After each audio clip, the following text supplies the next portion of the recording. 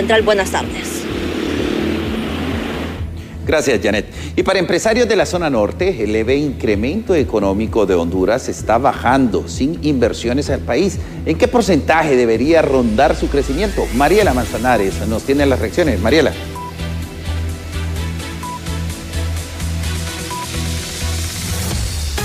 Así es, en el estudio central de impacto, BTV Meridiano, tal como se ha mencionado, según afirmaciones del Banco Central de Honduras, el país tuvo un crecimiento económico de al menos 3,6%. A mi lado, el empresario Raúl Peña, una cantidad de ingeniero, ¿la considera usted razonable o tuvo que haber sido mayor en consideración a los proyectos que hay en el país y en todo caso las afectaciones que se han ido dejando a lo largo de ese tiempo? Buenas tardes. Bueno. Definitivamente no. Honduras tuvo años en que creció arriba del 5% y hemos venido descendiendo. La pandemia nos terminó de bajar casi a negativo y ahora estamos en, una pequeña recuperación, pero que no basta porque lo que Honduras prácticamente necesita es un crecimiento sostenido durante unos 5 a 8 años del 6% como crece Panamá. En ese sentido, nosotros nos vemos amenazados porque cuando consultamos los datos de la CEPAL, la CEPAL pronostica 1.9 de crecimiento para el próximo año. Eso debería tener al gobierno preocupado porque quien genera productividad y crecimiento es la empresa privada. Y este gobierno se ha estado peleando y peleando con la empresa privada, la local y, con las eh, entidades internacionales que son nuestros compradores y nuestros clientes, como Estados Unidos y Europa, que ya la están pasando mal por las guerras, entonces Honduras debería ser mucho más inteligente porque con el problema de China, Estados Unidos, Honduras debería estar logrando lo que Costa Rica está logrando. Por ejemplo, más de 20 empresas internacionales grandes se van a instalar a Costa Rica y no hacen ningún esfuerzo.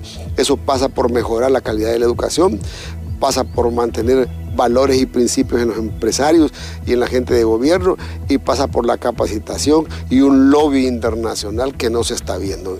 Eh, al contrario, vemos que vienen los eh, funcionarios de Estados Unidos a resolver o a tratar de resolver problemas tan graves como el que hay en el Congreso, que si no se resuelve a la mayor brevedad, Honduras peligra pues eh, su estabilidad y no digamos la empresa privada la generación de empleo. Bueno, y es que esto deja mal parado al país, ingeniero, considerando que no hay acuerdos mutuos o voluntad política y en todo caso parece ser que les preocupa más otros intereses y no el del pueblo hondureño. Pues hemos visto a lo largo de, esta parálisis en el, en el Congreso de la República que lo que está privando ahí son intereses partidarios y de, los dueños de los partidos o los que financian estos partidos.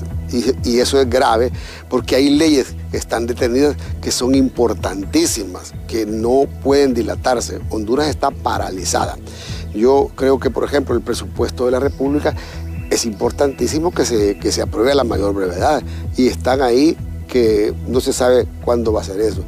Yo sí veo a los eh, diputados de este gobierno, de esta gobernatura, tanto los del Libre como los del Partido Liberal y los del Partido Nacional, un desastre para el país. En este momento el pueblo hondureño se puede haber dado cuenta que no están ahí haciendo nada, no nos hacen falta, prácticamente no necesitamos el Congreso, porque para tener un Congreso paralizado no, no necesitamos Congreso, lo que necesitamos gente que legisle y ayude al crecimiento, pero no que esté paralizada ganando bonos y, saciándose ellos y no provocando lo que necesita Honduras, que es desarrollo y leyes que protejan al inversionista. Bueno, muchas gracias al empresario Raúl Peña. Reacciones en referencia a este tema y, por supuesto, el panorama que se estaría esperando a comienzos de ese año 2024. No me tengo con ustedes al principal. Buenas tardes.